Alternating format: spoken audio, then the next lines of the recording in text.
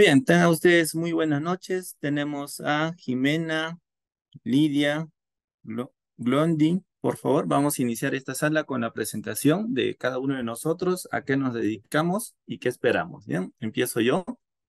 Mi nombre es Daniel Herrero, soy ingeniero de seguridad y salud industrial y minera. Mi experiencia está basada en la prevención de riesgos y en la gestión de sistemas de gestión integrados, ¿no? calidad, eh, 14001 que es de medio ambiente y la 45001 que es de seguridad y salud ocupacional. Con esto doy pase a Jimena, por favor. Continuamos con la presentación. Mm, buenas noches con todos. Mi nombre es Jimena Mejía, soy ingeniera industrial. Me estoy especializando en la parte de lo que es sistemas de gestión de calidad, pero también quiero ampliarlo un poco más a lo que viene a ser la trinorma. Eh, por ello es mi interés también en este curso. Excelente, muchas gracias. Continuamos con Josué. Hola, ¿qué tal? Buenas noches. Buenas noches, este, buenas noches. Disculpe, eh, recién ingreso. ¿Me podría Sí, presentación, Josué. ¿A qué te dedicas y qué es lo que esperas en esta sala? Mm, Ya, ah, ok. Ya, eh, mi nombre es Josué Jefferson, me apellido Sabona Amaya. Eh, bueno, yo actualmente, bueno, yo estoy estudiando ingeniería y sistemas y actualmente estoy en el rubro de monitoreo GPS, eh, a la cual este, bueno, estoy nuevo en este rubro porque es de, ¿cómo se llama?, de transportes urbanos y a la cual pues quiero aprender un poco más del rubro y de lo que estamos llevando a cabo también. Excelente. Continuamos con Glondi. Discúlpame si lo estoy pronunciando mal. Glondi Santiago. Buenas noches, ingeniero. Sí, Clon Santiago Carrión. Bueno, eh, yo me dedico a, ahora estoy trabajando en todo lo que es prevención de riesgo, pero yo ya estoy estudiando ingeniería industrial y sí estoy interesado en el tema. Excelente. Nos falta Genaro. Bien, creo que tiene problemas de, de audio Genaro. Seguramente se conecta en un momento. Muy bien, ya no nos falta nadie. Empezamos entonces con nuestro tema que es gestión de no conformidades, gestión de acciones correctivas y metodologías de investigación. Un tema bastante interesante, bastante complejo eh, y que abarca eh, todas las normas en realidad. ¿Listo? Este, este tema puede ser aplicado en cualquier norma, ¿listo? Ya que todos están enfocados a garantizar las conformidades o el sistema de gestión que nosotros tenemos. Y cuando hablamos de gestión de conformidades, tenemos que definir primero eh, qué es una no conformidad y qué es una conformidad. Una conformidad es el cumplimiento de un requisito. ¿listo? Esa es la definición que nos da la ISO, cumplimiento de un requisito.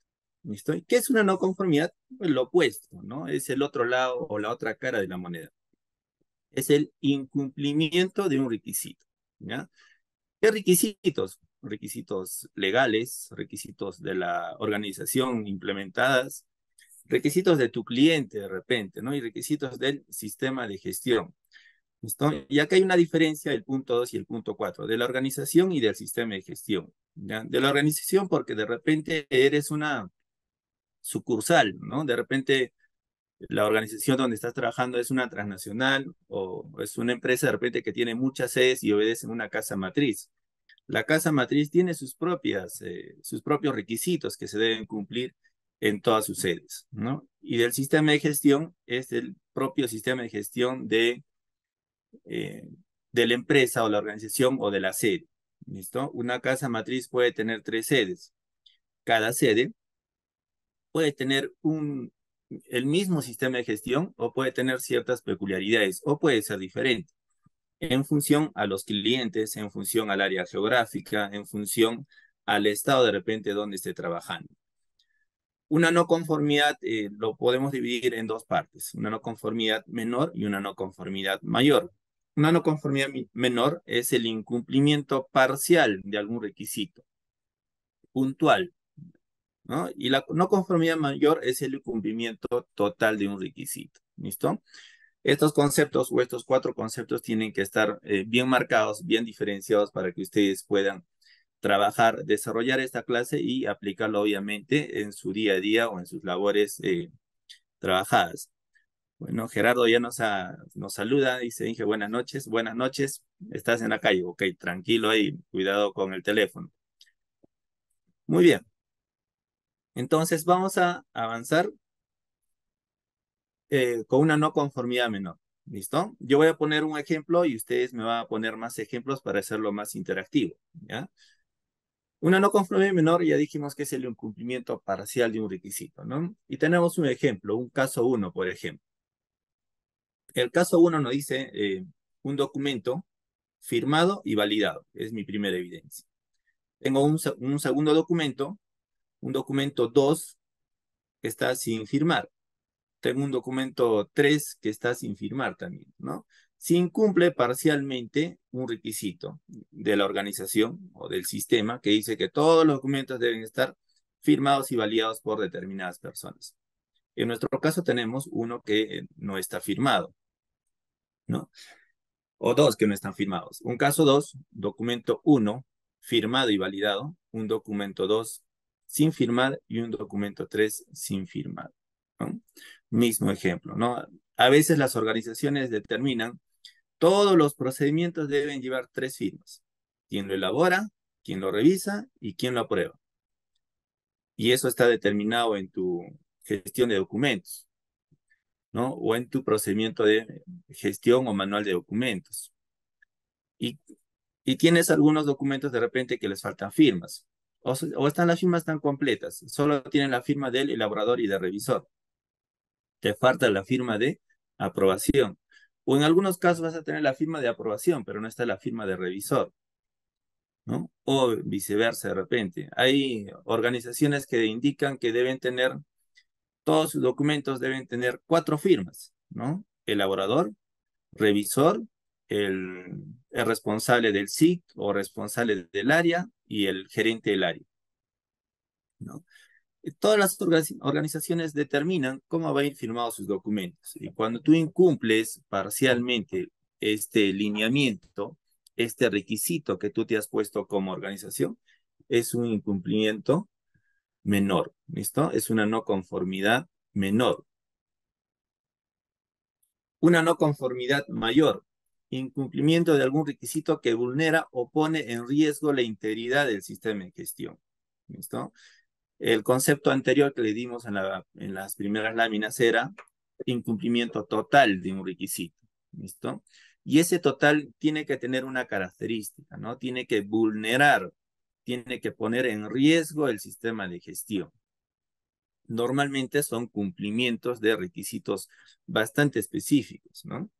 Por ejemplo, en seguridad y salud ocupacional hay un requisito eh, de la norma, de que también es un requisito legal, que todas las organizaciones que tienen más de 20 trabajadores deben formar su comité de seguridad y salud ocupacional. Si no tienes tu comité, estás incumpliendo ese requisito, ¿no? Tranquilamente encaja con una no conformidad mayor. Puede corresponder a la aplicación de, de un artículo, como es en este caso, por ejemplo, ¿no? También tenemos, por ejemplo, todas las organizaciones están obligadas a que sus trabajadores pasen exámenes médicos ocupacionales, ¿no? Eh, lo dice la ley. Pero si tú haces, no tienes gestionado esto y tienes trabajadores que están sin examen médico ocupacional, estás incumpliendo esta, esta ley. El desarrollo de algún proceso sin control. Por ejemplo, no puedes tener de repente un proceso de fabricación para los que están haciendo calidad de repente. Tienes un proceso de fabricaciones de estructuras metálicas, pero no tienes el control de quién es la persona que está haciendo estas fabricaciones, ¿no? Si tiene la expertise, si tiene las aptitudes, si tiene los certificados. No hay control de repente en, en la compra o la adquisición de los materiales. Son materiales de la calidad que corresponden, de la denominación o características que corresponden para esta fabricación. ¿No? O de repente no hay un control de, de la calidad de repente. ¿no? De repente tenía que echarle eh, una determinada capa de pintura, pero yo solo le estoy dando una pasada de repente. ¿no? o de repente tengo que darle un determinado RAL de pintura, pero yo eh, estoy mezclando de repente dos tipos de pintura, ¿no? O el proceso de repente de, de la misma fabricación. El proceso de un pintado de repente es limpieza, secado, eh, base, curación y pintura final. De repente de, frente le estás mandando la pintura final, sin hacer la limpieza, sin hacer la curación y sin tener la base. ¿no? Algunos procesos, por ejemplo, en, en la metalmecánica te dicen que debes tener un proceso de limpieza que le llaman granallado, que es una limpieza a presión con un material llamado granalla, o arenado, ¿no? El requisito te lo pide, el proceso te lo pide, pero de repente en algunos haces granalla, en otros haces arenado, en otros solo, le pasas un trapo de repente. Procesos que no tienen control. Eh, hemos hablado un poco de calidad. En seguridad, por ejemplo, un proceso de repente en la misma área de trabajo de fabricaciones. La gente no tiene PPs, ¿no? La gente no, no llena sus documentos de seguridad, ¿no? La gente viola muchas reglas de, de, de trabajos de alto riesgo de repente. ¿no? No hay control en el proceso de fabricación en relación a la seguridad de repente en medio ambiente, ¿no? Un proceso sin control, ¿no? Tienes eh, emisiones de, de, la pintura, emisiones de repente de algún líquido, de algún producto químico, y esto está yendo de repente al desagüe, que no está permitido, ¿no? No hay control sobre esos procesos. Otra no conformidad es la repetición permanente o prolongada a través del tiempo de incumplimientos asociados a un mismo proceso o actividad. En las auditorías, por ejemplo, te encuentras en una entrevista a un colaborador que no tiene los guantes de seguridad. Y el entrevistado o el auditado te dice, oye, pero nosotros como organización sí le damos los guantes a todos los trabajadores. A él se le olvidó, ¿no? O pasó algo, pero es algo aislado, te dice. Ah, perfecto, ¿no? Es algo aislado. Vas a otra área y encuentras otro trabajador sin, sin casco. Vas a otro proceso y encuentras un trabajador de repente sin lentes. Entonces son observaciones que se van prolongando en diferentes áreas, ¿no? O en diferentes tiempos, ¿no? De repente el, el entrevistado, el auditado te puede decir, ah, pero yo, nosotros como organización siempre repartimos los EPPs. Ah, perfecto. Entonces, a ver, dame el historial de eh, Jimena Mejía, a ver, ¿qué EPP le has dado en los últimos tres meses? Sacan el historial y a Jimena no le han dado ningún EPP en esos tres meses. Entonces se repite en el tiempo. De repente es aislado, ¿no? Ya, de otro trabajador, ¿no? De un trabajador de alto riesgo, de repente que necesite algún EPP específico. Puedo pedir de algún soldador, a ver, muéstrame en todo el año cuántas veces le has dado el traje de cuero, o le has cambiado la careta, o le has cambiado los filtros, o le has cambiado el respirador. ¿no? Y tú ves el historial en todo el tiempo de un año que solo le han dado una vez. ¿no? Y no hay evidencia de que en este trabajador se haya cumplido eh, la entrega de PPs, por ejemplo. ¿no? Se prolonga en el tiempo. Son observaciones aisladas, pero se prolonga en el tiempo o se prolonga en diferentes áreas. También es la ausencia eh, consistente de registros declarados por la organización o exigidos por la norma. Por ejemplo, en seguridad tenemos, eh, el decreto nos da ocho registros obligatorios, que sí o sí todas las empresas deben tener. Entrega de PPs, auditorías, de inspecciones, de capacitaciones, ¿no? Y si tú no tienes estos registros, estás incumpliendo un requisito de la norma y eso te manda a una no conformidad. ¿Listo? Muy bien. Eh, ¿Algún ejemplo que quieran poner de repente bajo estos conceptos? A ver, vamos a ver con, con Carmen, que se acaba de conectar hace un momento. Carmen, una no conformidad que tú puedas encontrar de repente en la organización donde tú trabajas o podría presentarse en la organización donde tú trabajas.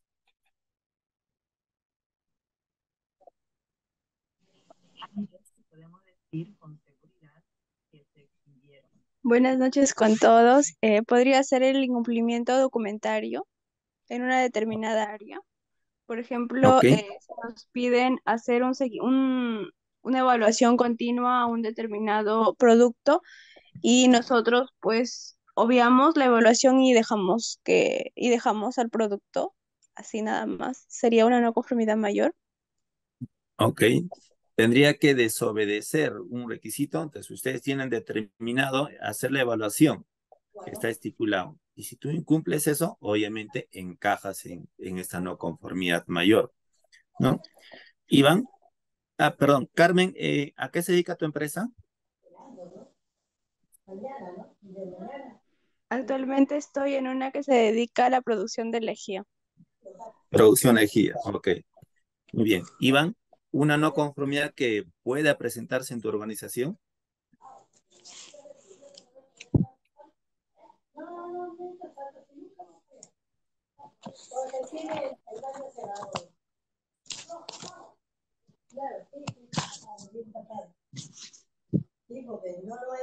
Richard Tello, que está con el micro abierto, ¿una no conformidad que se pueda presentar en tu organización? cinco especies llenas y también Y se puede ser también que, eh, o sea, yo trabajo en una empresa de palmas, pero somos terceros y nos mandan a, hacer trabajos como montaje. y, y a veces uno ve que los trabajadores no son capacitados y, y ellos por querer hacerlo y no pagar a uno de más experiencia, ¿no? De, de más, como se llama, certificado, lo hacen hacer. Ya, eh, por ejemplo, en, montajes, eh, ¿qué nos dice la norma? Que los elementos de izaje tienen que estar certificados. ¿ya? La norma te lo pide. La norma que certifica los elementos de izaje es el ASME B30, por ejemplo.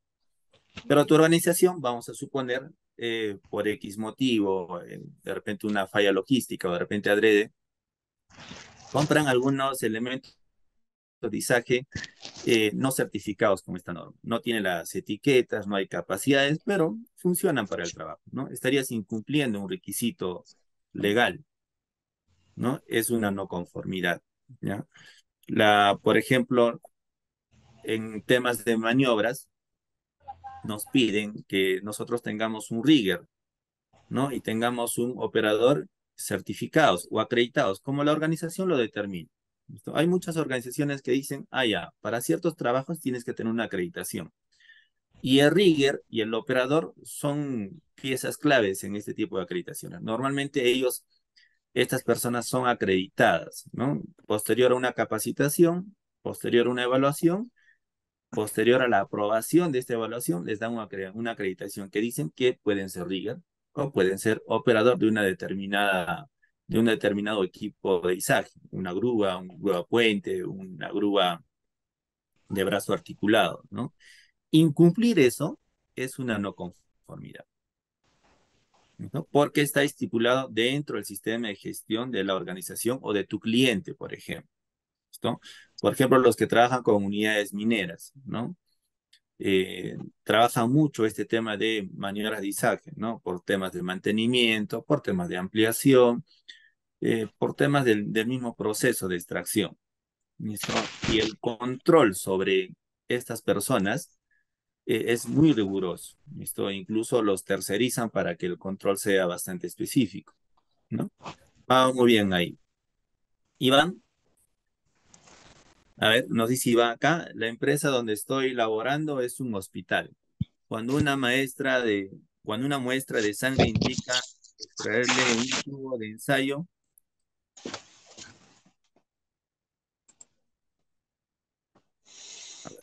perdón, perdón, para hematológico, pero lo extraemos en otro tubo de ensayo. Ah, claro. Tu procedimiento dice que para una muestra de sangre utilices eh, este material, un tubo, un determinado tubo. No tengo mucha experiencia yo en temas de, de medicina, pero te dice un determinado tubo y tú utilizas otro, obviamente estás incumpliendo un procedimiento. ¿Listo? Porque el procedimiento te dice los materiales que tú necesitas para ese proceso. Estás incumpliendo un requisito del mismo sistema de gestión de la organización de la clínica o del hospital. Muy bien, muy bien, Iván. Vamos con Jimena, una no conformidad que puede pasar en tu organización. Mm, haciendo un poquito de memoria, este, lo que pasaba mucho es que no se respetaba el procedimiento de control documentario general en toda la empresa y se creaba la duplicidad de, de códigos y había otros que no, porque el person, había personal que no estaba asignado y ellos creaban sus documentos, todo, pero no estaban bajo las indicaciones o los estándares que estaba indicando el sistema de gestión.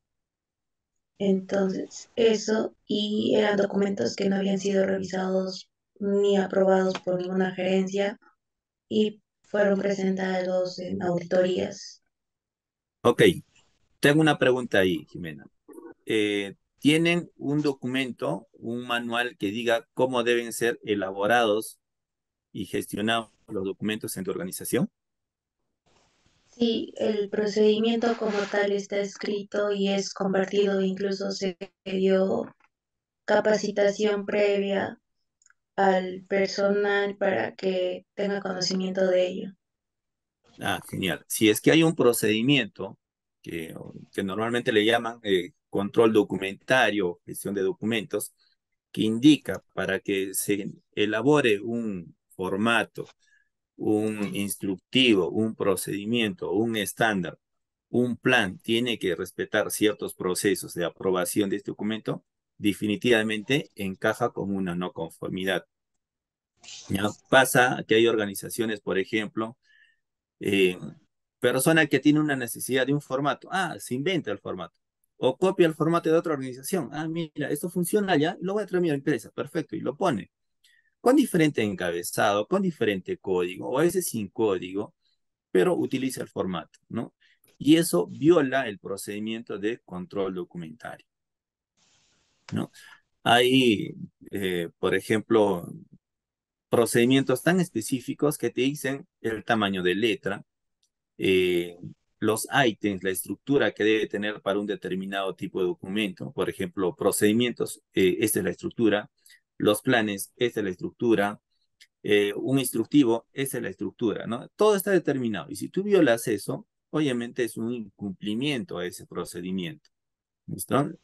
Eso siempre cuando tú tengas un documento que determine cómo se va a gestionar la elaboración, actualización, archivo y difusión de los documentos.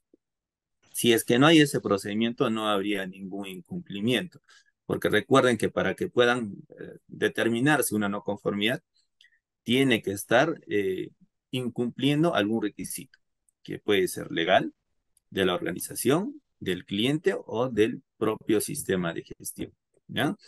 ¿Qué nos dice Josué? Ingeniero, puede ser una no conformidad que no les den charlas a los conductores de transporte urbano.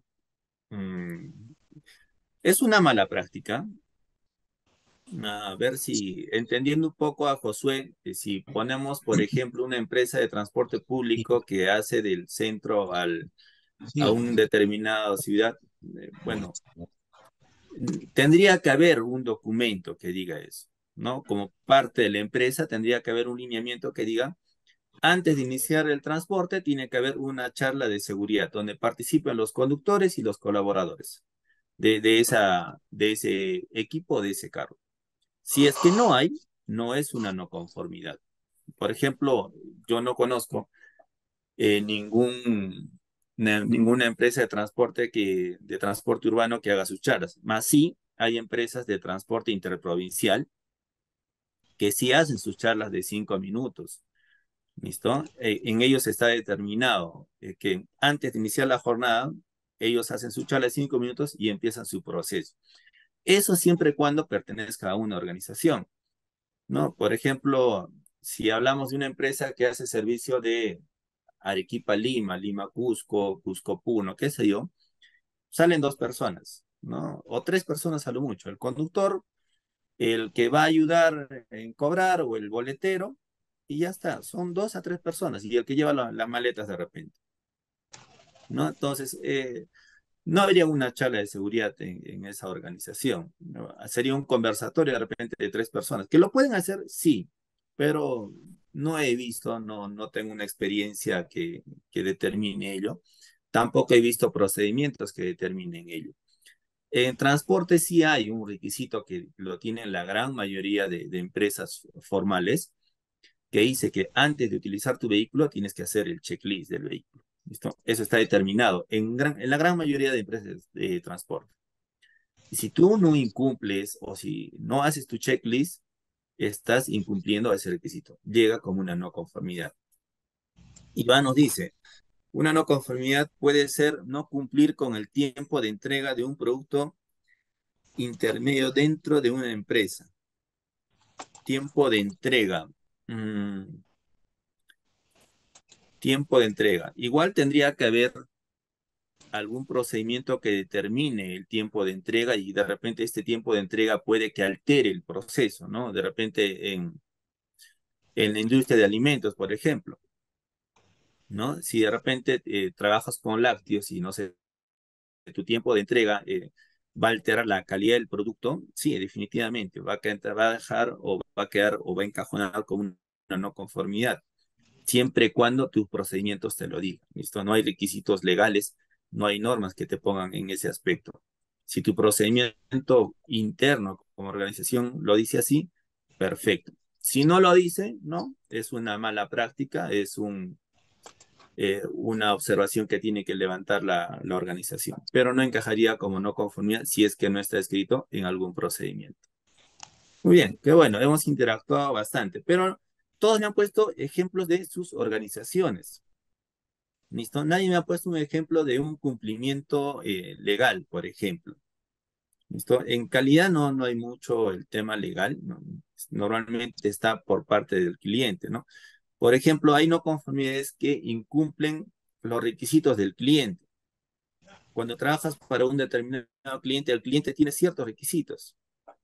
Por ejemplo, el cliente te puede decir, los, productos que tú me vas a entregar tienen que venir embalados con, con algún material especial para que no se dañe, no se maltrate eh, y no altere el producto. ¿No? Y si tú entregas el producto sin ese embalaje, estás incumpliendo lo que te dice el cliente, lo que te pide el cliente.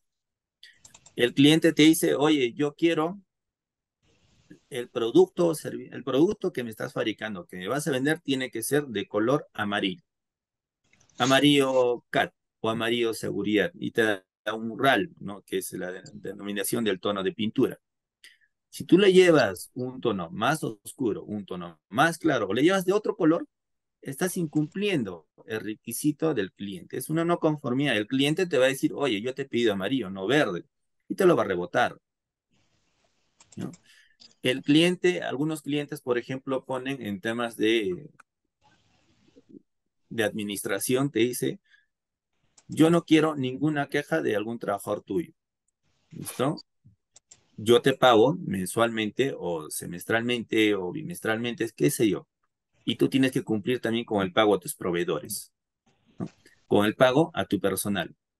Y si algún proveedor tuyo, algún personal tuyo se queja con tu cliente, oye, mi empresa no me ha pagado, lo va a tomar como una no conformidad administrativa porque parte de tu contrato te dice que tú tienes que cumplir con los pagos a tus proveedores y trabajadores.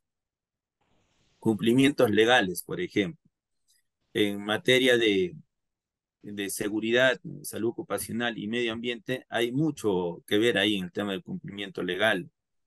El tema de no entregar un EPP a un trabajador, ¿no? O el tema de repente de no cumplir con las cuatro capacitaciones que te pide la ley en materia de seguridad y salud ocupacional, ¿no? O el tema de no tener, eh, el no haber hecho los monitoreos de agentes ocupacionales, ¿no? El tema de no tener un comité de seguridad, el tema de no hacer inspecciones de seguridad, el tema de no investigar de repente algún incidente o alguna o algún daño que has tenido en tu organización. La ley te lo pide. Si tú has tenido algún accidente, tienes que hacer una investigación, tiene que haber un reporte y un informe final. Y si tú no has cumplido con eso, es un incumplimiento legal. En medio ambiente, el tema de los, de los parámetros permisibles, por ejemplo, en las emisiones. ¿no? En el tema de minería, en el tema de, de industria, se aplica mucho ello. Muy bien, sigamos avanzando. Observación. ¿Listo? Implica desviación, no implica desviación ni incumplimiento de un requisito. ¿Listo? Pero se constituye una oportunidad de mejora. ¿Ya?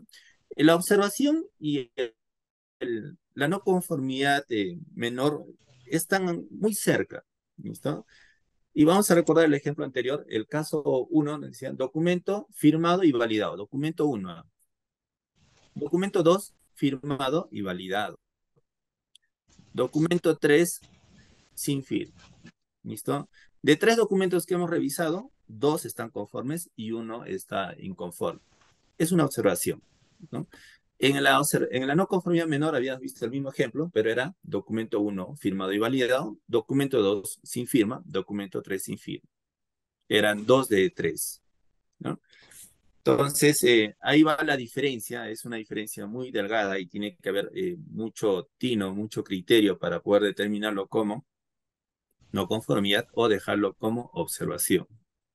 Muchos lo llaman eh, oportunidades de mejora. Y le da un nombre más,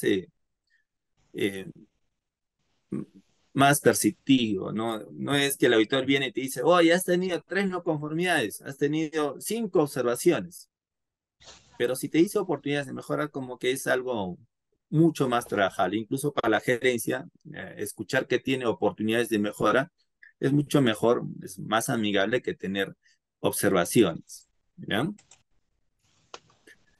Ahora, vamos a ver metodologías de investigación de estas no conformidades. ¿Listo? Y aquí está la clave de poder eh, levantar estas no conformidades y que sean sostenibles en el tiempo. Y hay muchas metodologías. ¿ah? Esta es la de causa y efecto. Tenemos la metodología de los cinco porqués, el árbol de causas, ¿no? Pareto. En fin, hay muchos. ¿Listo? Los más usados son esta metodología de causa y efecto y eh, de los cinco porqués, ¿no? El de los cinco porqués, incluso eh, en mi experiencia, son más usadas en las organizaciones porque es mucho más entendible y más aplicable, pero siempre cuando puedas utilizarlo de, de la mejor forma error común que se comete en las organizaciones. Tú tienes una no conformidad y viene el gerente general o el gerente del área o el jefe del área y dice, a ver, ¿qué ha pasado? Ah, ah tenemos una observación, pero entonces hagamos esto. Y quedó.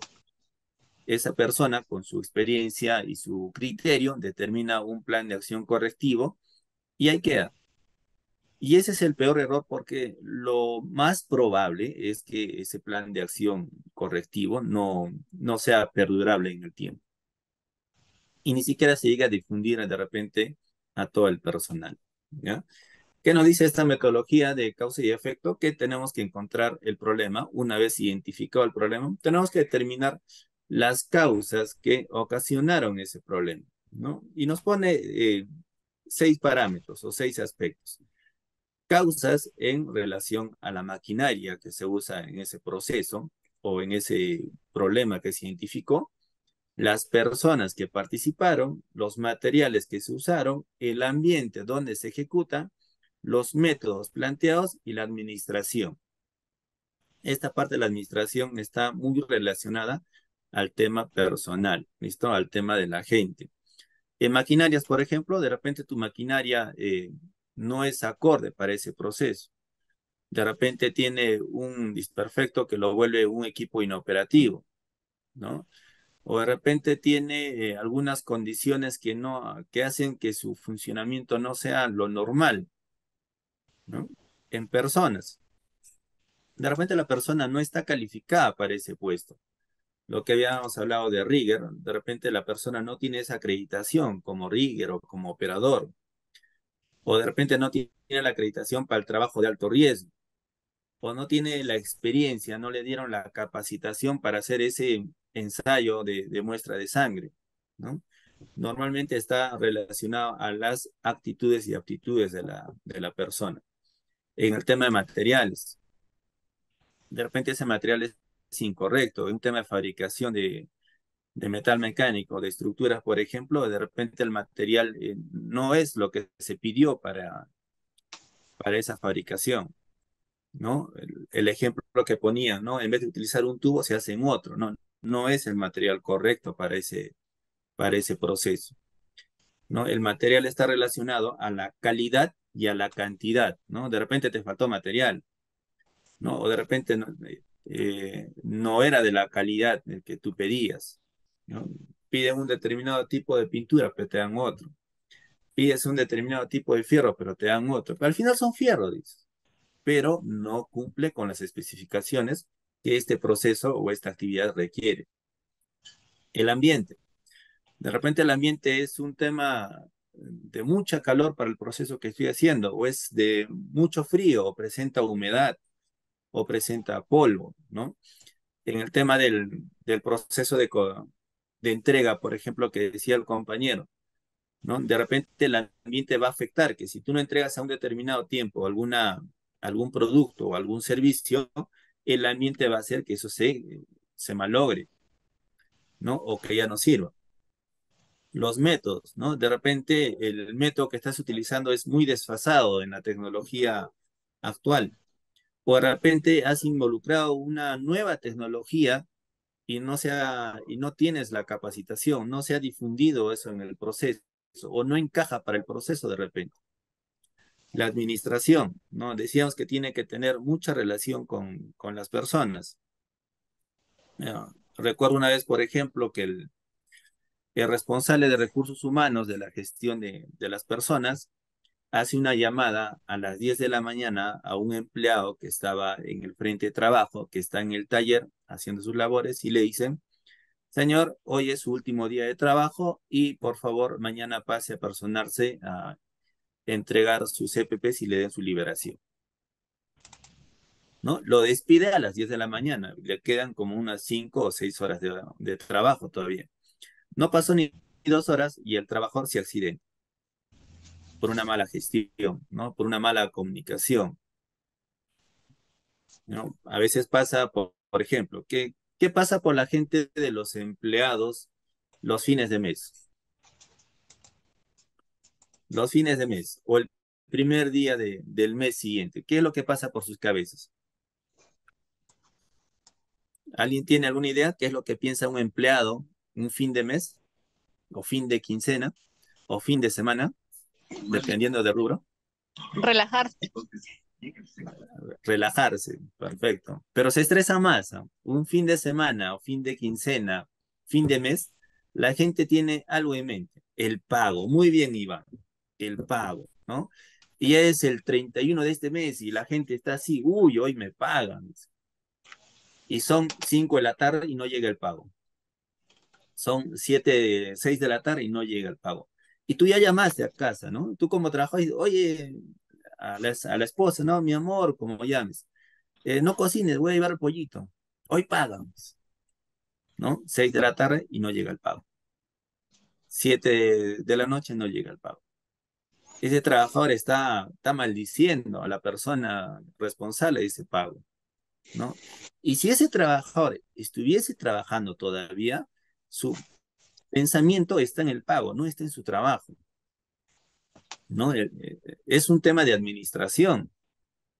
Y de repente hay organizaciones, por ejemplo, que demoran con el tema del pago, ¿no? No pagan el 30 o el 31, pagan el, el 3, el 4, el 5, el 6, el 7.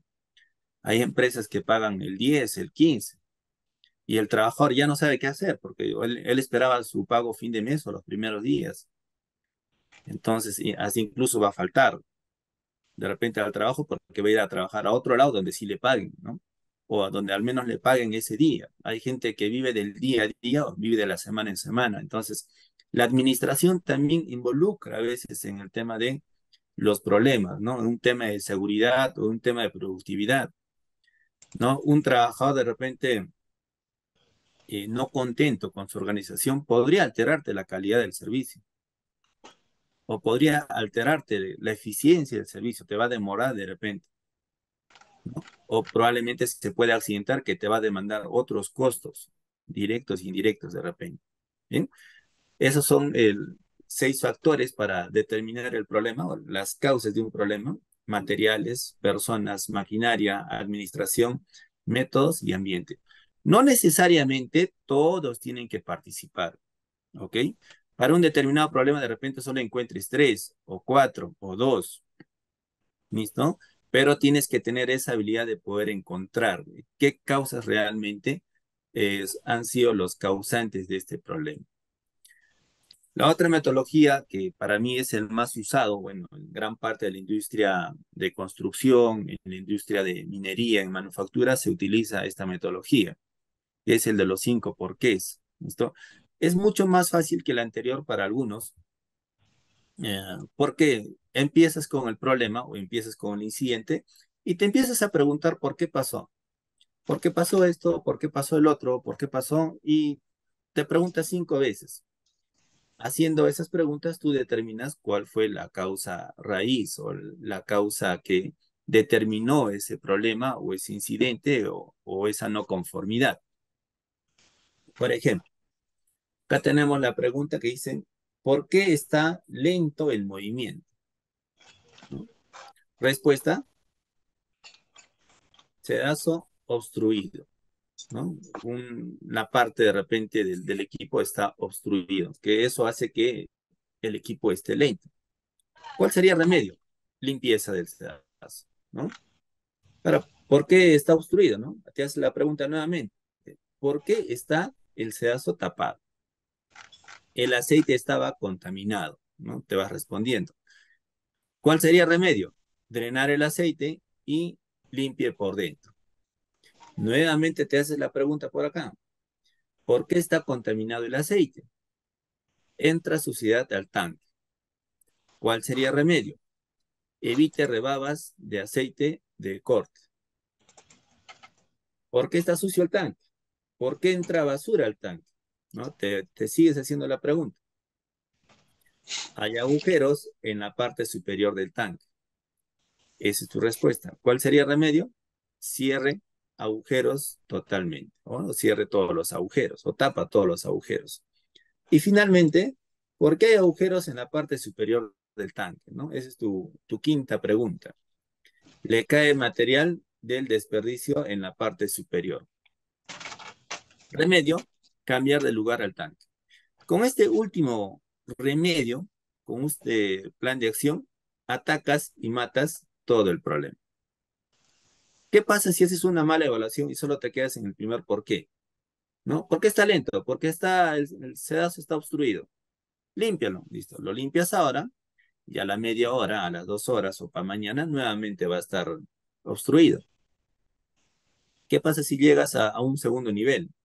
Ah, ¿por qué está obstruido? ¿No? Porque el aceite estaba contaminado. Ah, perfecto, entonces limpiamos el aceite.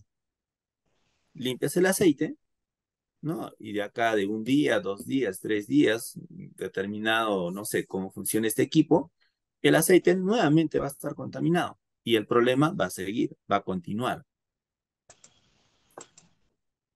Ahora, si te quedas en un tercer nivel, ¿no? Le entra suciedad al tanque. Evite rebabas, perfecto, evite rebabas. Pero eh, eso nuevamente también en un ciclo de repente un poco más amplio, ya no de repente de días, sino de semanas, nuevamente vas a tener rebabas en el aceite. De repente porque hay agujeros, cierra los agujeros, perfecto, tapaste los agujeros. De acá de un mes, dos meses, nuevamente por la caída de desperdicios tú vas a tener más agujeros. Y el ciclo se va a repetir y tu problema va a continuar. pero si finalmente encuentras el porqué de la razón, es que le cae material de desperdicio de la parte superior. Cambiarlo de lugar, obviamente a un lugar donde no le caiga material, listo, asunto arreglado. Ya no vas a tener agujeros, ya no vas a tener rebabas, ya no vas a tener aceite contaminado, ya no vas a tener que limpiar. Probablemente continúes con tu proceso de mantenimiento de este equipo, pero ya programado, ¿no? De acá cada seis meses, cada año, qué sé yo pero esa es otra cosa, ¿no? Es parte del programa de mantenimiento del equipo. Pero ya no vas a tener este problema del movimiento lento, que era tu problema, que era tu no conformidad, que era tu observación, ¿no? O que era tu accidente. Eso se arregla con este último remedio, ¿listo? Errores que se cometen, te quedas en el nivel 1, en el nivel 2, en el nivel 3. En seguridad y salud ocupacional, por ejemplo, cuando pasa un accidente, eh, determinas el accidente, determinas el factor crítico, determinas las causas inmediatas y determinas las causas básicas. Hay organizaciones que van mucho más allá, van un pasito más, determinan falta de control gerencial o control gerencial lo llaman, que está mucho más abajo de la causa básica. ¿Ah? Es mucho más profundo Y determinan los planes de acción, obviamente, para la causa inmediata. ¿Qué le pasó hoy a la doctora? ¿Por qué escribió eso? Bueno, este, por favor, con el audio, desconectenlo. William, William está con el audio, por favor, tu micro. Gracias, William. Decíamos que en seguridad, eh, cuando pasa un accidente, se utiliza mucho esta metodología, ¿no? Y determinan el incidente, determinan el factor crítico. Algunas organizaciones no. Algunas organizaciones pasan del incidente o accidente de frente al, a la causa inmediata, ¿no? Luego sigue la causa básica y determinan los planes de acción. Hay organizaciones que entre el incidente y la causa inmediata determinan un punto que va en el medio. ¿Listo? Que es el factor crítico. Y es muy difícil eh, encontrar este factor crítico, ¿no? Que por concepto le dicen que si tú quitas este elemento o esta acción del escenario, el incidente no pasa. Algunas organizaciones le aumentan, después de la causa básica, le aumentan el tema de control gerencial. ¿Por qué se da esa causa básica? ¿Qué control gerencial? ¿Qué control de la organización no implementado hace que esta causa básica aparezca? Y le van poniendo planes de acción en cada uno de ellos. Y cuando ponen el plan de acción para el tema de, este control gerencial, el responsable no es eh, un supervisor, no es un jefe, no es un trabajador. Normalmente se lo pone al gerente general, de repente el directorio, el gerente de administración o el gerente de algún determinada área. Pero va en función a esta metodología. ¿Listo? Error común, como ya les había indicado, desde que alguna organización pasa un problema y viene alguna jefatura, viene alguna gerencia y dice, oye, pon este plan de acción para corregir esto al toque, sin utilizar esta metodología. Puede que la tienen, ¿listo? Puede que llegue a este último control o a este último remedio, como le llamamos. Pero la experiencia, hay la probabilidad de que se olvide alguno de ellos o de que no siga esta secuencia, ¿no? Y de repente llegue al nivel 4 o al nivel 3. La metodología te ayuda a que ese proceso se lleve de forma ordenada. La metodología te va a ayudar que de repente en una situación similar en el futuro o en otra área te diga, oye, ¿qué pasó? En esta ocasión encontramos esta, eh, estos remedios para estas eh, preguntas o para estas observaciones o para estas acciones. Acá estamos encontrando lo mismo, ¿no? Te va a ayudar, ¿no? Ese registro de la metodología te va a ayudar a resolver otros problemas. O de repente tuviste una no conformidad en el 2021 y en el 2023 vuelve a aparecer, ¿no? Te va a ayudar a, a relacionar. El registro de la metodología va a ayudar que eso pase. Pero si no hay un registro y de repente solo son decisiones de una persona, no se va a dar. ¿no? Y ni te vas a acordar de esa no conformidad, ni te vas a acordar de ese incidente porque no hay un registro, no, no hay una metodología. Cuando se realiza, por ejemplo, investigaciones de no conformidades, cuando se realiza investigaciones de accidentes, el informe puede tener 3, 4, 5, 10 hojas. Gran parte de los expertos solo te piden revisar la metodología. Y con la metodología se puede determinar si la investigación está bien o está mal. Si en la metodología está todo ok, perfecto. No es necesario revisar los datos de todo el informe. Porque ya la metodología te dice el qué pasó, cuáles son las causas y cuáles son los planes de acción o los remedios como nosotros los llamamos. Muy bien, preguntas hasta aquí, alguna duda que tenga. Ingeniero, ¿y la metodología, eh, cómo me doy cuenta que está bien aplicada? ¿Cómo te das cuenta que está bien aplicada la metodología? Muy buena pregunta, muy buena pregunta. ¿Fue eh, Blondie? ¿Quién hizo la pregunta? No llegué a ver. Sí, ingeniero. Ok, gracias Blondie por la pregunta. Y muy atinado. ¿Cómo sabes que tu metodología ha sido bien aplicada? ¿Listo? Eh, eso lo determinas a 30 días, a 60 días, a 90 días, a, un año, ¿no? Como tu organización lo determine. Normalmente se le llama revisión de la eficacia del plan de acción, ¿no? Van a este punto, eh, la eficacia de este plan de acción, del último. ¿Y cómo mides esa eficacia? Si es que el incidente no se repitió, el plan de acción funcionó. Tu metodología o tu proceso de aplicación de la metodología estuvo bien. Si la no conformidad no se repitió, tu aplicación de la metodología estuvo bien. ¿Listo? No hay una pregunta o no hay una respuesta para decir, ¿a ¿qué metodología uso yo? ¿No? Eh, ya no utilices la metodología de causa y efecto. Eso está mal. Ahora utiliza la metodología de los cinco porque. Eso no hay.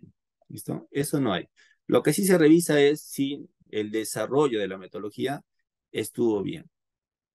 Y a eso le llamamos el evaluación del, de la eficacia del plan de acción o eficacia del remedio. ¿listo? En seguridad y en medio ambiente ponen esta eficacia a las empresas a 60 días o a 90 días. ¿Listo? Con eso tranquilamente se puede determinar, ah, si no se repitió el incidente o algún incidente similar, la metodología funcionó. ¿Listo? Pero si pasó el incidente o algo similar de repente, o tienes una no conformidad igual o similar, tu metodología estuvo mal aplicada. Lamentablemente, tú te das cuenta de eso después de que ocurrió algo similar o ocurrió lo mismo. ¿Listo? De antemano, eh, hoy, hoy, hoy has hecho la investigación. Hoy has aplicado tu metodología con tu equipo de trabajo. Hoy no puedes determinar si esta metodología eh, va a ser eficaz o no, porque eso te lo va a decir el tiempo. Lo que sí tienes que cuidar es que respetes esta correlación de pregunta y respuesta. ¿Ya? En algunos casos te vas a dar cuenta que, por ejemplo, en este mismo ejercicio, la primera pregunta te dice, ¿por qué está lento el movimiento? ¿No? ¿Sedazo obstruido? Perfecto. La siguiente pregunta va a decir, ah, ¿por qué está sucio el equipo? Esta segunda pregunta puede venir, ¿por qué está sucio equipo? No tiene correlación. No tiene correlación con, con la respuesta de la primera pregunta. Cuando no hay correlación, te das cuenta que tu metodología ya está mal. ¿no? Y probablemente hay mucha mayor probabilidad de que el incidente vuelva a ocurrir. ¿Quedó claro, Blondie? ¿Se entendió ahí? Sí, ingeniero, gracias. Gracias a ti. ¿Alguna pregunta? Muy bien, nos vamos a tomar un receso de cinco minutos. Son 8 y 45, 8 y 50, estamos de vuelta. Muy bien, estamos de vuelta. ¿Me confirman si se escucha el audio? Creo que seguimos en el break. Carmen, Blondie, Iván, Josué, Richard, Jimena. ¿Se me copian? Sí, ingeniero, estamos escuchando. Perfecto. Muy bien, Blondie. Gracias. Siempre participativa. Muy bien. Antes de continuar con, con este proceso, vamos a vamos a dar ejemplos de qué cumplimientos legales nosotros eh, podemos hablar, independientemente de cualquier empresa que estemos hablando. ¿ya? Todas las organizaciones de todos los sectores estamos obligados a cumplir eh, ciertas leyes. ¿Listo? Y algunas de cierto sector eh, estamos obligados a cumplir leyes exclusivamente de ese sector, ya sea de salud, ya sea de repente de industria, de minería, de construcción, ¿no? O de manufactura, qué sé yo. Vamos pensando en alguna ley y algún requisito de repente que esa ley nos pida que podríamos incumplir.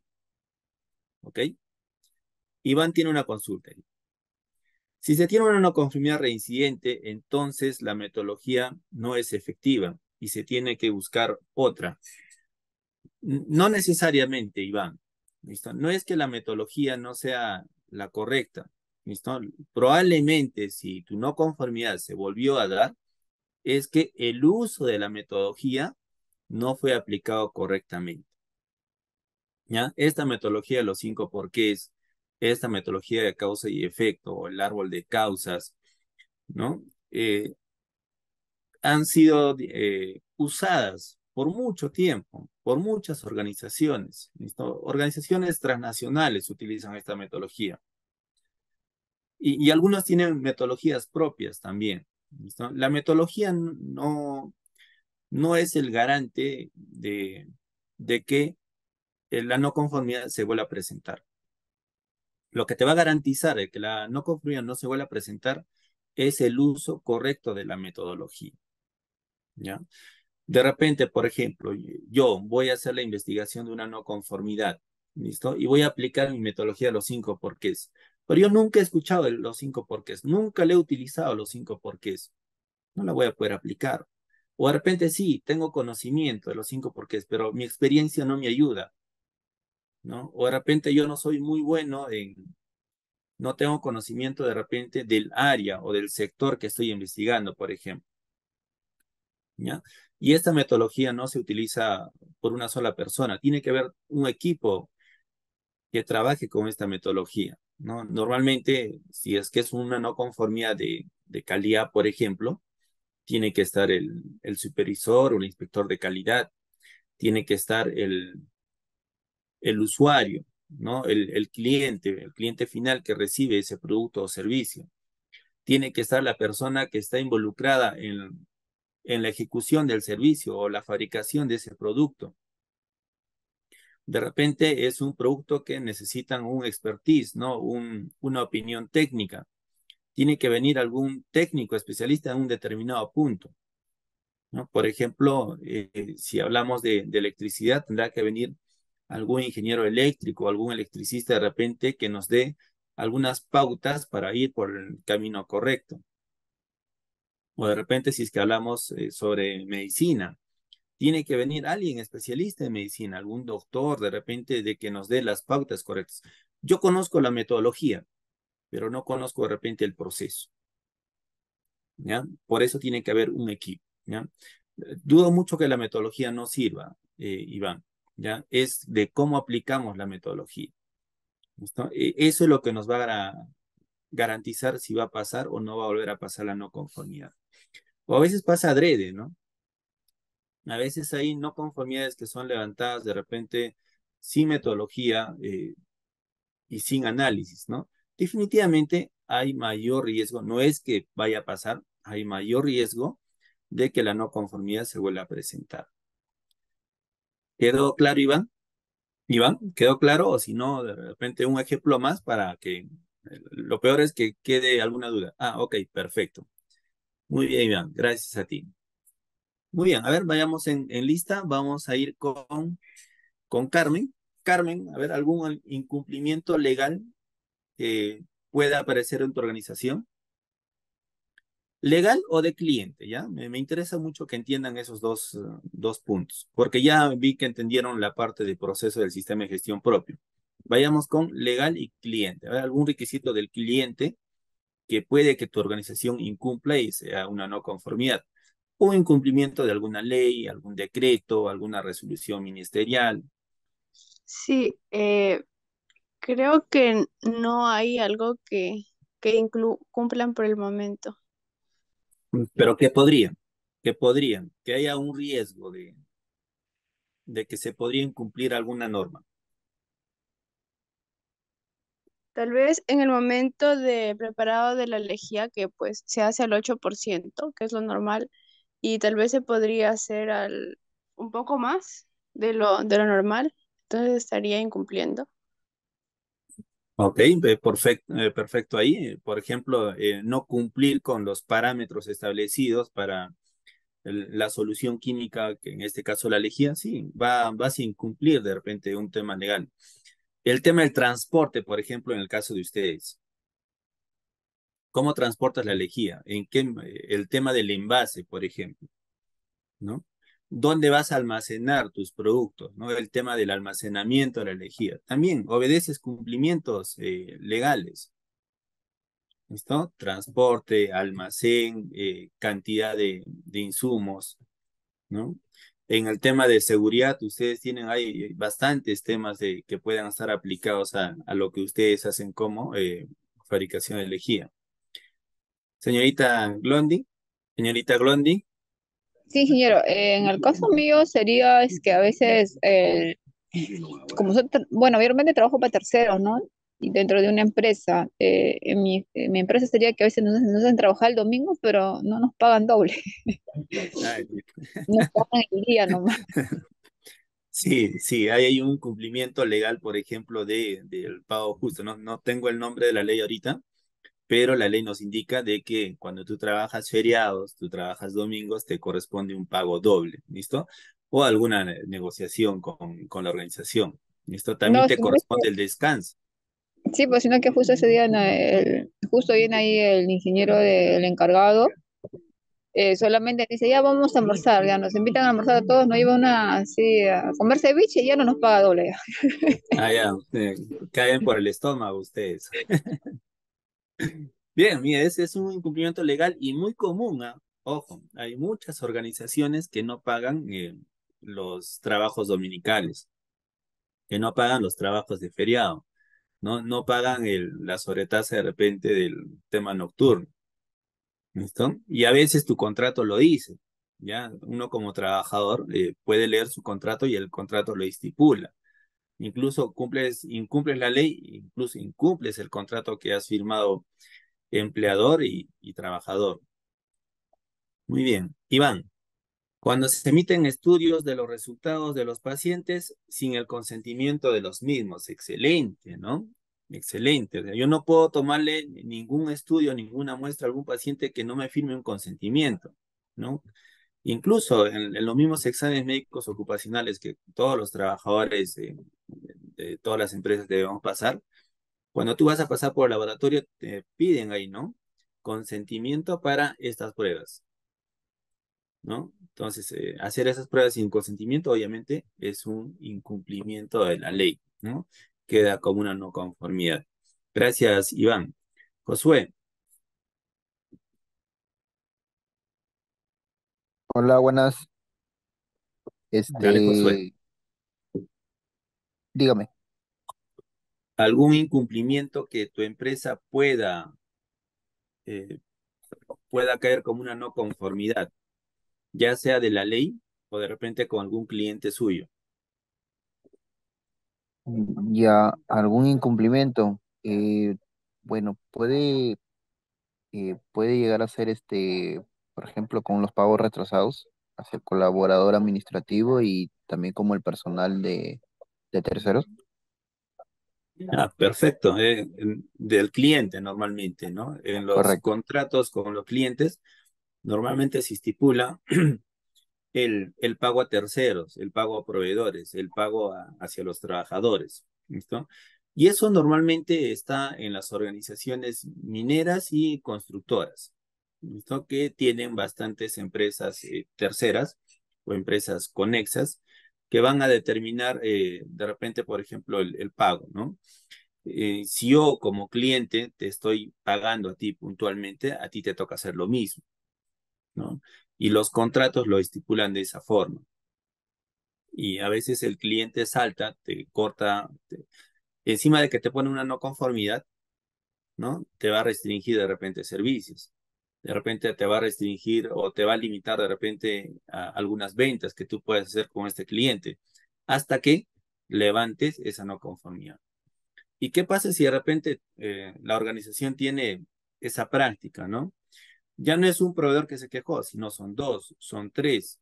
Es un proveedor que se queja este año, ¿no? Un proveedor se quejó el año pasado, entonces es una práctica común.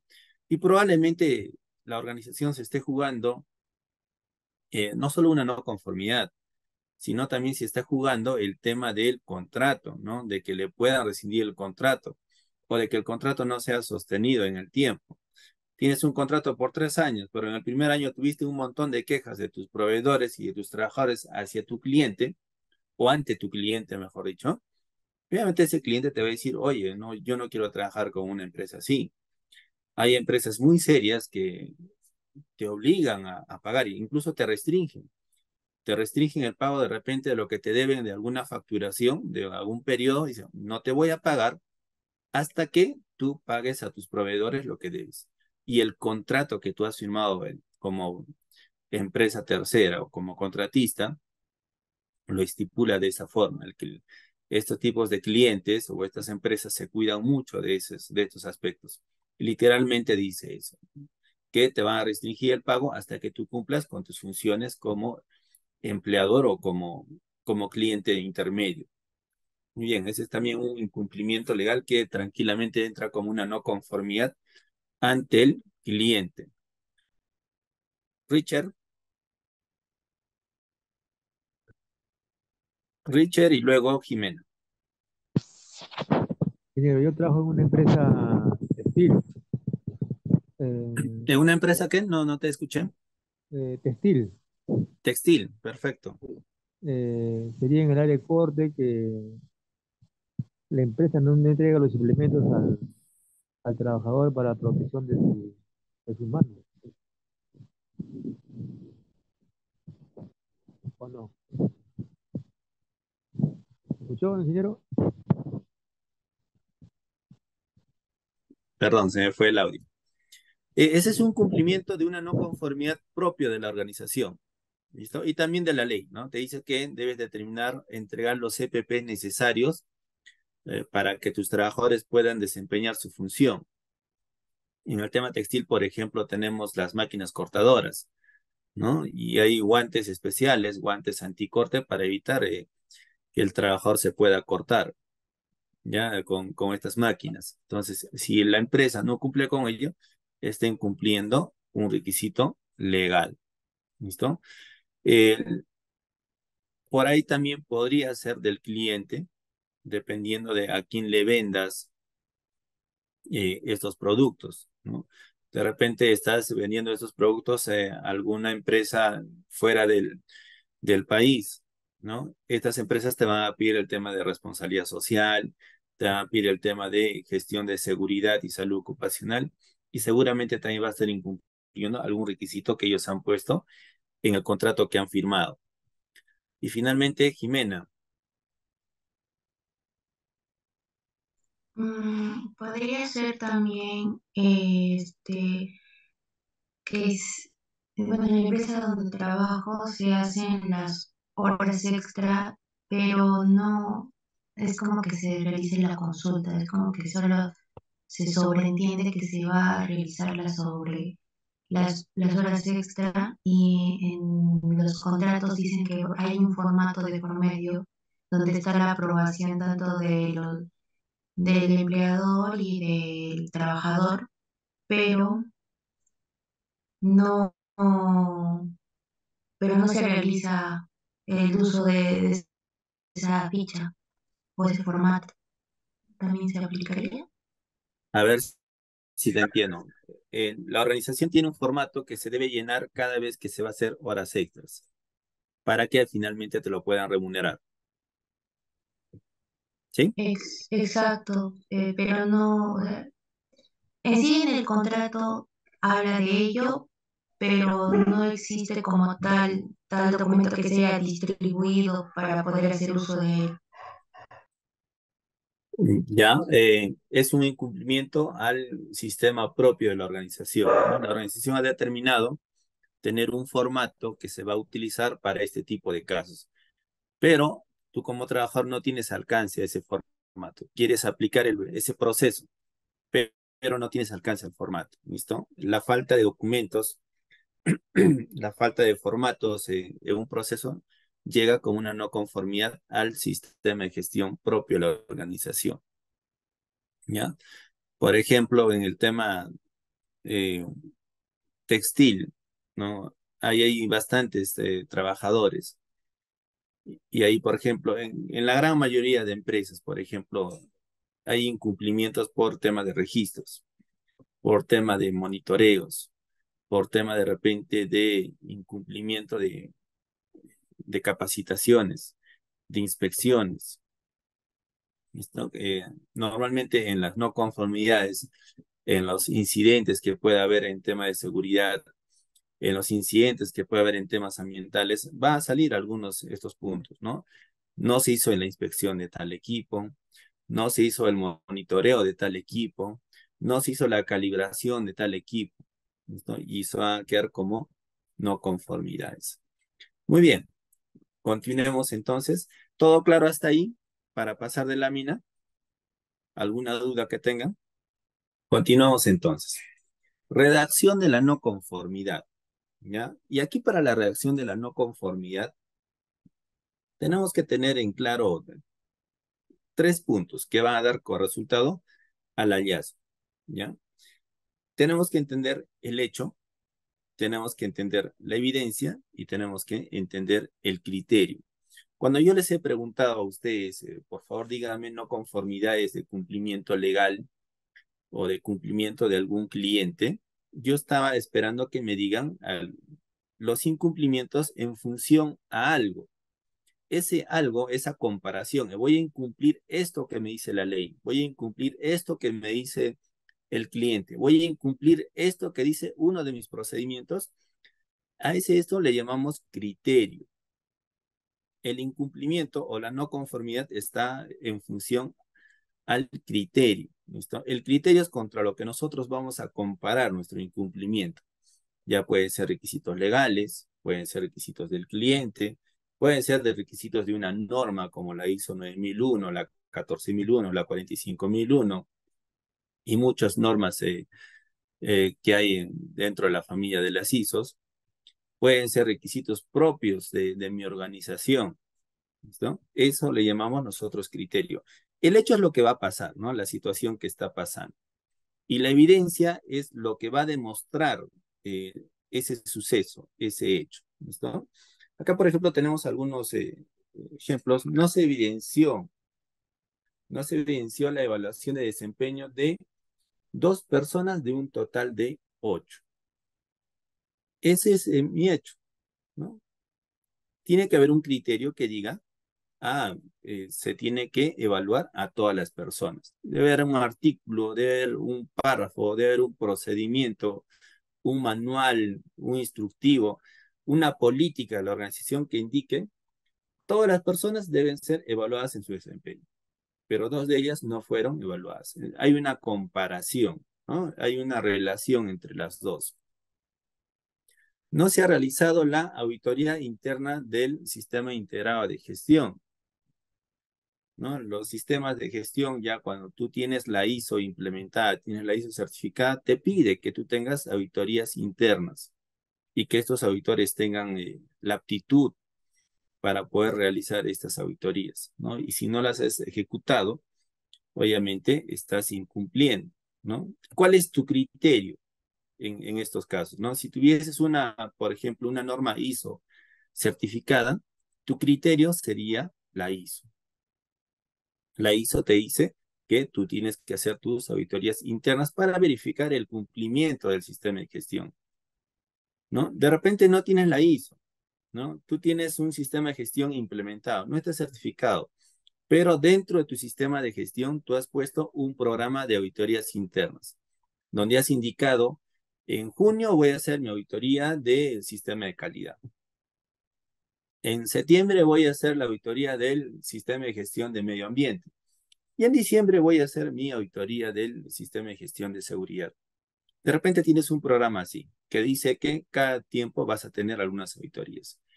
Ese programa de auditorías es tu criterio, si es que tú no has realizado tus auditorías internas. O de repente tu programa dice, eh, cada año voy a hacer una auditoría del sistema integrado de gestión en el primer semestre. Y si tú no has cumplido con eso, tu programa de auditorías o ese artículo o esa política o ese procedimiento donde has determinado que cada año vas a hacer una auditoría del sistema integrado de gestión, ese es tu criterio para decir, ah, estoy incumpliendo y tengo una no conformidad. ¿Ya? ¿Se entiende ahí? Eh, ¿Queda claro? ¿Queda claro? Si queda claro, dame un like, manito arriba. ¿Alguna duda que tengan? Ahí está, gracias, Josué, gracias, Carmen, ¿se quedó claro? Muy bien, entonces en, en la definición o en la redacción tú tienes que entender eh, estos aspectos, ¿listo? El hecho, la evidencia y el criterio. Y eso finalmente te va a dar un hallazgo, ¿listo? Un hallazgo de una no conformidad. ¿ya? El hallazgo puede ser una conformidad o una no conformidad. En este caso va a ser una no conformidad. El proceso de gestión de, las no conformidades, ¿listo? Y lo vamos a clasificar en, en, tres niveles, ¿listo? Al colaborador, al supervisor del sistema de gestión de, de, calidad en este caso y al responsable de la aplicación. ¿Cómo es que se inicia? ¿Listo? Y iniciamos acá en el punto A, ¿no? El hallazgo de la auditoría, ¿listo? En este caso es un hallazgo de una no conformidad. Y vemos, ¿no? Son reclamos del cliente, puede ser que sea externo. Eh, se detecta el hallazgo, se comunica ya el hallazgo, se evalúa el hallazgo y se amerita aplicarle un SAC, ¿listo? Una evaluación del, de este hallazgo. ¿Ok? Si es que es no, queda ahí. Si es que sí, se valoriza el hallazgo. ¿no? Hay que darle algún valor. Tienes que medirlo en una evaluación de, de nivel de riesgo. Hay que registrar el hallazgo y se genera y se envía a la SAC. Se identifica las causas. Acá utilizamos nuestra metodología de los cinco porqués, eh, causa y efecto, Yarama y Chicago, el que ustedes gusten, ¿listo? En mi experiencia, como les digo, el más usado en las organizaciones es el tema de los cinco porqués. Se plantean las acciones, eh, se establecen las fechas de, la aplicación, se revisan las no conformidades, ¿listo? Y determinamos, ¿está conforme o no está conforme? Si no está conforme, nuevamente regresa, eh, hay que hacer la revisión nuevamente, y si es que está, si es que está conforme, le damos una fecha límite. Se verifica la aplicación de la, de la acción. Acción implementada, sí o no. Si es que sí, verificamos la eficacia del plan de acción. ¿no? La pregunta que hicieron primero. Ah, muy bien, Iván. Ahorita vemos esa parte. Para terminar la idea. La pregunta que decían, ¿cómo sé que mi eh, evaluación o mi metodología funcionó, ¿no? Eso lo determinas de acá de, de un determinado tiempo, ¿no? La organización normalmente determina ese tiempo. Un mes, dos meses, tres meses, ¿listo? Algunas organizaciones con mayor eh, sustento o con un sistema de gestión bastante robusto, eh, estas evaluaciones de eficacia lo realizan al año.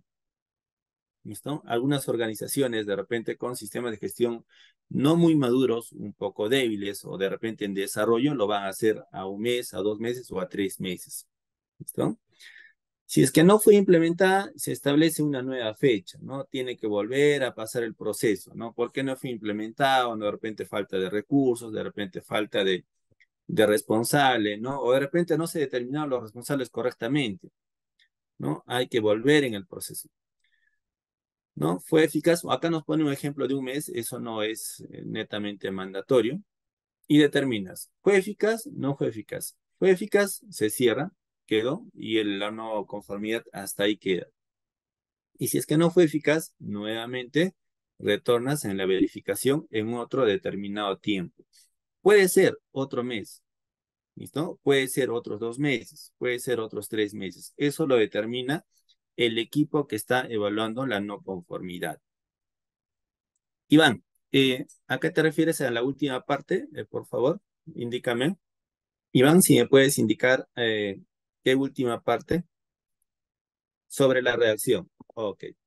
En la redacción, nosotros tenemos que encontrar tres partes del, para poder redactar. ¿Ya?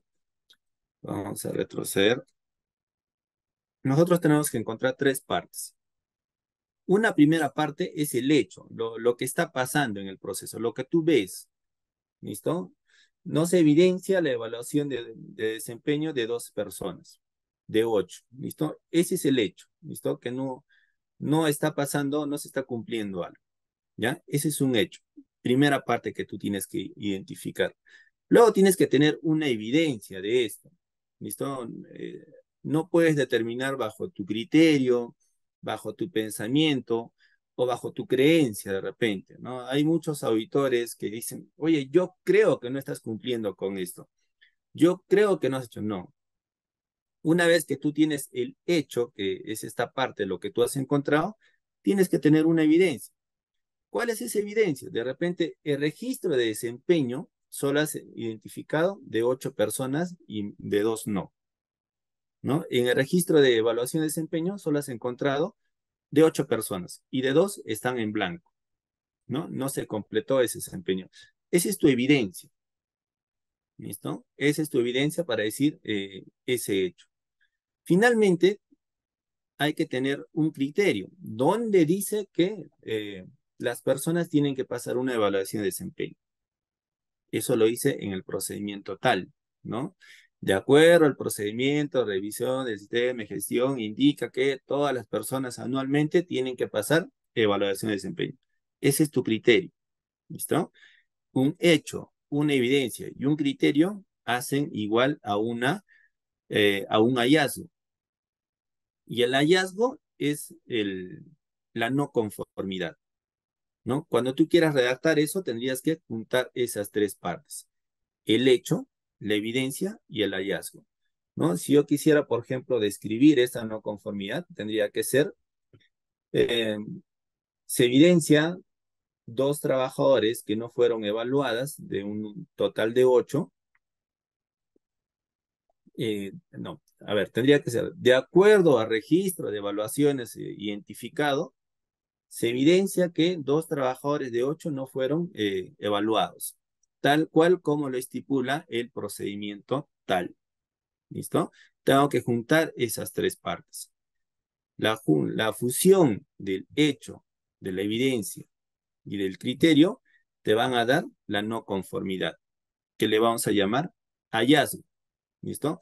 Y el hallazgo no necesariamente tiene que ser una no conformidad. El hallazgo hay dos tipos, las no conformidades y las conformidades. ¿Listo? Iván nos indica, entonces en la reacción se va a basar en las evidencias. Sí, pero no solo en las evidencias. ¿Listo? Tienes que considerar tres aspectos. El hecho, la evidencia y el criterio. ¿Listo? Vamos ahorita vamos a hacer un ejercicio para que nosotros podamos entenderlo, ¿listo? El hecho es lo que está pasando, ¿listo? La evidencia es lo que tú tienes para demostrar ese hecho. Por ejemplo, ¿no? Eh, en un tema de EPPs, ¿ya? Encuentras un trabajador sin, sin EPPs, ¿listo? Ese es el hecho, trabajador sin EPPs. ¿Tú quieres demostrar eso? Una foto de repente del trabajador, esa es tu evidencia, ¿no? El trabajador con la foto ahí, sin, haciendo el trabajo sin el EPP, esa es tu evidencia. Otra evidencia que puedes tener, el registro de entrega de EPPs, que a ese trabajador no le han entregado el EPP que él necesita para su trabajo. ¿no? Normalmente las empresas tienen este registro, le llaman cards de EPP o, la hoja Sunafil, como, como lo quieran tener. ¿Listo? Ya tienes el hecho, trabajador sin guantes, y tu evidencia, que es la foto o el registro de entrega de EPPs. Ya tienes dos. Ahora, todo eso que incumple la norma tal, ese es tu criterio. El procedimiento tal, ese es tu criterio. ¿Y cuál sería tu, eh, tu hallazgo? ¿Cuál sería tu reacción de la no conformidad? El trabajador Iván Panduro eh, hace labores tal sin utilizar el EPP, incumpliendo el procedimiento tal incumpliendo el requisito de la norma tal. ¿Listo? Esa es la fusión. ¿Ok? Tres conceptos tienes que tener claro ahí. El hecho, la evidencia y el criterio. Si no tienes los tres hechos, tu no conformidad va a estar incompleta. ¿Ya? Vamos a hacer un ejercicio posterior a esto. Cada uno va a redactar una no conformidad, ¿ya? Para que puedan tener eh, mayor confianza y agilidad, porque es un trabajo bastante complicado, ¿no? Y ese es uno de los puntos de quiebre de los auditores, por ejemplo. Cuando los auditores están formando, eh, una de las preguntas que siempre fallan es en la redacción de la no conformidad. ¿no? Como a veces hay auditores que redactan todo un párrafo, ¿no? Media hoja de una no conformidad. O hay auditores que hacen una sola línea de repente. La no conformidad no tiene que ser muy extensa para que pueda ser entendida. Suficiente tener estos tres puntos, ¿no? El hecho, evidencia y el criterio. ¿Listo? Fusionas esos tres y cumplimos con la no conformidad o con la redacción de la no conformidad. Muy bien, cada uno entonces va, para entender este punto, cada uno va a redactar una no conformidad. ¿Listo? Indicando tres puntos. Hecho, la evidencia que va a tener para ese hecho y el criterio el que está incumpliendo. ¿Listo? Estos criterios, recuerden que pueden ser cumplimiento legal, cumplimiento del cliente, cumplimiento de la organización o incumplimiento del sistema de gestión. Incumplimiento, ¿listo? Para que pueda ser una no conformidad. Muy bien, tenemos tres minutos para redactar una no conformidad y revisamos de dos personas, ¿listo? Para que no se nos vaya la noche también. ¿Ya? Vamos, tres minutos. Tres minutos y lo vamos a leer. Diferencia muy bien hecho, evidencia y criterio. Mientras van trabajando ustedes, eh, acá, por ejemplo, hay algunos criterios de, cumplimiento legal, ¿no?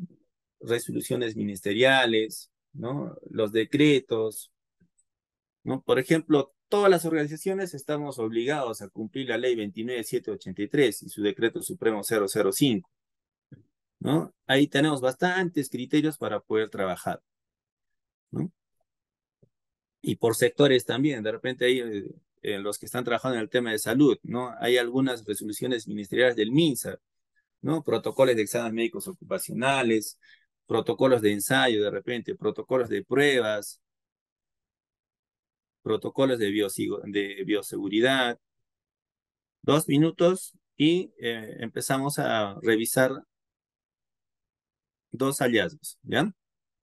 No hay voluntarios. A dedo entonces. A ver, Iván, personal de laboratorio realiza la ocupación sin cambiarse de guantes de bioseguridad, infringiendo el manual del procedimiento de toma de muestras, ¿ok? Criterio ahí. Manual de procedimiento de toma de muestras, ¿listo? Ese es tu criterio. Y de ahí, a ver, la acción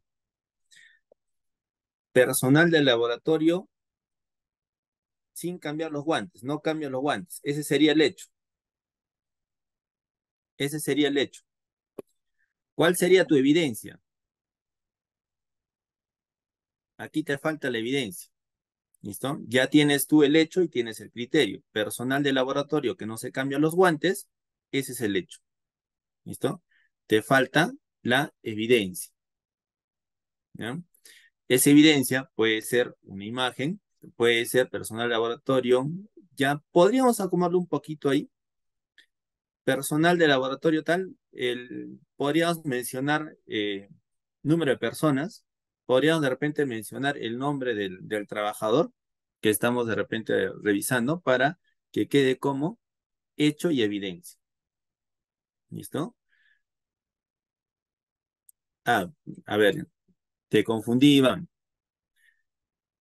Personal de laboratorio, ¿ya? Hay, hay que aumentarle una palabra más, ¿ya? ¿De laboratorio qué? Laboratorio 1, laboratorio 2, laboratorio 3, ¿no? De repente tienes varios laboratorios que realizan vanopunción o venopunción, ¿ya? Tienes que aclarar ahí, ¿listo? Personal de laboratorio tal, en tal lugar, entonces ya te queda registrado ahí la, el hecho y la evidencia sin cambiarse los guantes. Ese es tu hecho. Y tu criterio va a ser el manual de procedimiento de toma de muestras que estás incumpliendo. ¿Listo? Iván, ¿quedó claro? Si es que no, lo, lo repito nuevamente. Ya está, más seguro, ¿no? Laboratorio de servicio de toma de muestras. ¿Listo?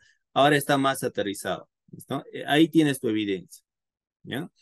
¿Cuál es la acción? ¿O cuál es tu hecho? No cambiarse los guantes. ¿Listo? ¿Cuál es tu criterio? El tema del procedimiento donde indica que los guantes se deben cambiar. ¿Ya? Vamos con otro ejemplo. Jimena, me leyó la mente Jimena, justo iba a, a llamarla. El criterio, el requisito transgredido. Claro, en tu caso, Iván, tu criterio es este, manual de procedimiento, manual de procedimiento de toma de muestras sanguíneas. Entiendo que en ese manual indica que el procedimiento, indica que los guantes se deben cambiar. ¿Listo? Así lo vamos a tomar. Podríamos indicar ahí infringiendo el manual de procedimiento de toma de muestras, donde indica que los guantes se deben cambiar para cada muestra. ¿Listo? Y estaríamos completando de repente. Pero la entienda, tu idea está bien. Tu idea está ahí. Hay que ponerle uno que otra palabra más para que se pueda entender en cualquier lectura. Vamos con Jimena. Jimena nos dice presencia de insectos en planta procesadora de alimentos ¿ya? Fotografías. Decreto Supremo, Reglamento sobre Vigilancia y Control Sanitario de Alimentos. Ok, lo tienes diferenciado, ¿no? Lo tienes eh, eh, dispersado. tu hecho es presencia de insectos en la planta procesadora de alimentos. Perfecto. Ese es tu hecho. ¿Ya? Fotografías. Eh, no podemos poner fotografías en, en una redacción de, auditoría. En realidad, en las redacciones de auditoría no, no van imágenes, ¿listo? la imagen sí, es de forma referencial que lo puedes tener. Acá podemos de repente arreglarlo de qué manera. Se identifica presencia de insectos en la planta procesora de alimentos. Eh, igual habría que determinar el, lugar preciso. ¿listo? Planta procesadora de alimentos, ¿no? En el ingreso, en, en la salida, eh, de repente en un determinado punto, ¿ya? Tendrías que detallar exactamente, ¿listo? ¿Cómo se hace, cómo tienes esta evidencia sin decir fotografías? Normalmente, esta observación que tú vas a hacer, si es que eres un auditor, vas a ir acompañado del dueño del proceso o vas a ir acompañado de repente de, alguna persona. Y cuando tú redactes o cuando tú indiques, oye, mira, estoy encontrando esto, tú como auditor o como inspector o como persona que estás encontrando la, la no conformidad, la otra persona también lo va a ver. ¿no? Entonces tienes ahí tu hecho y tu evidencia. ¿Listo? Claro que la fotografía te va a servir, en que algún momento diga la otra persona, oye, pero yo no tengo eso. No, lo que estás diciendo es incorrecto y ahí está la fotito, ¿no? La imagen te va a ayudar, ¿ya? Para poder indicar, ah, ya, sí, aquí está la evidencia, ¿listo? Y tu eh, criterio, el decreto supremo 007, reglamento de vigilancia y control sanitario de alimentos, ¿no? Claro ahí, fusionas los tres y tienes tu no conformidad. ¿Hasta ahí vamos bien? ¿Se está entendiendo?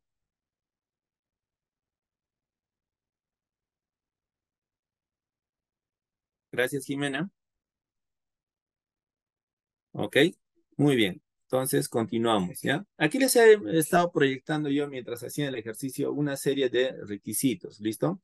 Pero aquí solo te menciona la ley, ¿ya? Cuando tú mencionas acá, en el caso de Jimena, por ejemplo, mencionó el decreto supremo 007, eh, la redacción tiene que venir incumpliendo el artículo número tal del decreto supremo 007. ¿Listo? Porque esta presencia de insectos no, no está violando toda la norma o todo el decreto, no está violando algún artículo específico, ¿listo? Ahí la reacción tiene que venir siempre acompañado de lo más preciso que pueda hacer. Entonces, cualquiera que dice, ay, ¿dónde está? A ver, ¿dónde dice eso? Entonces, yo no me voy a leer todo el decreto, ¿no? las 5, 10 o 20 páginas que tenga el decreto. ¿no? Pues si me dice el artículo 57 del decreto supremo 007, me voy a ese artículo en ese decreto y puedo definir que sí, realmente dice que tengo que cumplir algunos parámetros que estoy redactando. ¿Ok?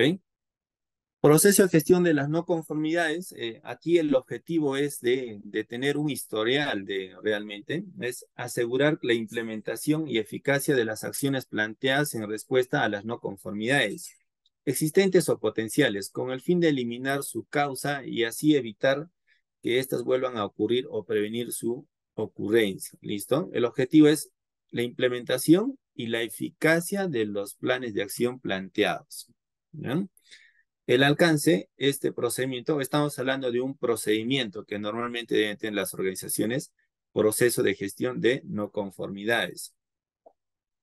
Este procedimiento es aplicable para el tratamiento de los hallazgos del sistema de gestión de calidad, en, este caso.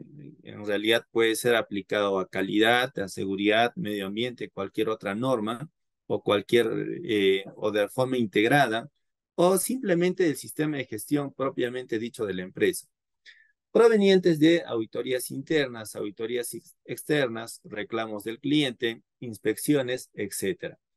Abarca desde, la, desde que se detecta y se comunica el hallazgo hasta que el supervisor, en este caso del sistema de gestión de calidad, realiza la verificación de la eficacia de las acciones planteadas. ¿De qué nos está hablando? De este proceso. ¿no? Este proceso. Desde que se identifica, se comunica, se trata toda la no conformidad, todo el hallazgo, hasta que se revisa la eficacia de, eh, de los planes de acción que van a atacar ese sistema de gestión. Eh, este documento normalmente tiene algunos anexos que van a ayudar que este sistema funcione, como la solicitud de acciones correctivas, estado de acciones correctivas, estado de las observaciones, procedimiento para auditorías internas del sistema y valoración de los hallazgos, ¿no? Estos formatos son bastante intuitivos en, el llenado, ¿no? Te dice el proceso, el documento de referencia, el criterio que tú estás utilizando para esta no conformidad, describes la no conformidad, los responsables de la investigación, los planes de acción que vas a determinar para esta no conformidad, la identificación de las causas, acá aplicas tu metodología de los cinco porqués, causa y efecto, o el que ustedes determinen en, su organización. La acción correctiva, ¿no? Y, los resultados. Un punto que no les mencioné de la acción correctiva, ¿ya? Las acciones correctivas tienen que perdurar en, el tiempo, ¿listo? Eh, no es una acción puntual de un día o de una semana, tienen que ser perdurables en el tiempo. Es una característica de estos planes de acción. Y, y si perduran en el tiempo, podemos decir que el plan de acción va a ser, va a tener la eficacia que busca la organización. Ahora tú puedes tener una, dos, tres, cuatro, cinco, diez no conformidades. Y estos se van a ir registrando en, en determinados procesos. Puede que sean auditorías internas o externas, puede que sean observaciones del cliente, pueden que sean producto de la inspección del, del mismo ejecutor del trabajo, ¿listo? Pero todo eso se van a ir registrando, ¿listo? Para que tú puedas tener eh, un mapeo general del estado de las acciones correctivas de todas tus no conformidades, de todos tus planes de acción que se han planteado para estas no conformidades. ¿Ya? Acá, por ejemplo, en este proceso, tú describes tu observación, en qué área está involucrada, el plan de acción que han determinado, quién es el responsable del plan de acción, fecha límite, estado, eh, número de verificaciones de repente que se está haciendo a este proceso y las observaciones que se tienen en este proceso. Básicamente, hablamos de resumen de este cuadrito, ¿ya? Como ven acá en este proceso, en muchas ocasiones vas a tener que regresar para continuar con el proceso, porque a veces eh, los planes de acción eh, no fueron adecuados o, no se cumplen o los responsables no se determinaron de, de forma adecuada. Eso hasta que el sistema de gestión eh, vaya madurando conforme pase el tiempo.